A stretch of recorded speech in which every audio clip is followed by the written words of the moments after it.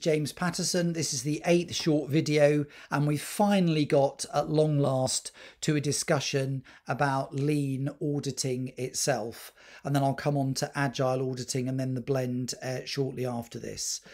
So, based on all the things that we've learnt in terms of background and in terms of lean, the key idea around lean uh, auditing is to say, who are the real key customers for an internal audit department? Is it the audit committee? Is it executive managers? Is it the managers that we're auditing? Or what's the role in relation to regulators and auditors? Or indeed, is there somebody else we need to be thinking of when it comes to our key customer? And then, are we really clear what adds value? I mentioned the Kano technique. So, this technique of lean auditing looks at delighters, satisfiers, and dissatisfiers and really analyzes what the internal audit department is doing and saying, what's the internal audit department doing to dissatisfy the business? How often is the internal audit department delighting the organization? You can think about that for yourself if you're watching this either with an internal audit hat on or an audit committee or some other function. And then finally, this comes back to the whole idea of flow do we have the appropriate role for the internal audit department, both as a whole and in individuals within the internal audit department? Do they have the right ways of working? Very often there's an audit methodology which guides what is done.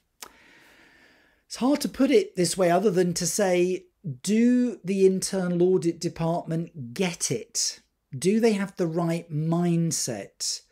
to do constructive work in the business, or are they largely in a kind of blame mode?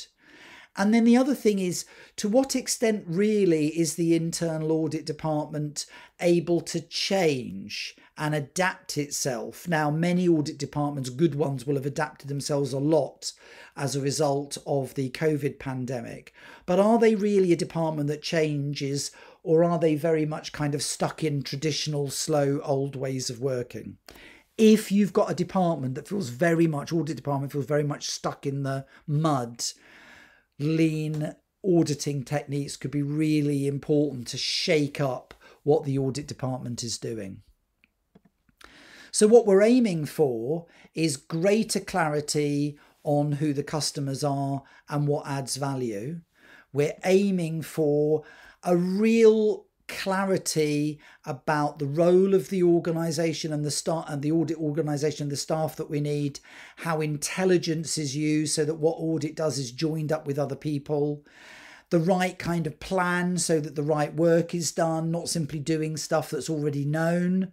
You very often get audit departments that audit known issues but not always to add real value to the organization. And then you need uh, the right tools for the audit department, both in terms of methodology and audit tools, and really able to give insight. You know, if there's one key theme going on at the moment with internal audit departments, is don't just tell me what I already know. It's the so what and why does this matter and where else does this matter and how much should I care? So that when audit makes an action, and obviously there's lots of people competing with the audit committee and senior management to for them to take action that the actions that audit is calling out are really the right actions for the organization and then I mentioned to you the SIPOC technique in the context of lean and the SIPOC technique, supplier, input, process, output, customer, that applies equally to the internal audit process. And this is an extract from the lean auditing book that I wrote a number of years ago. So it really concentrates on what is a good process for auditing what really are the outputs that we want from the internal audit department and are we getting them? And then who are the customers that internal audit is working for? I'll say a little bit more about the key changes that you get from a lean uh, audit technique in a minute. Thanks for your time.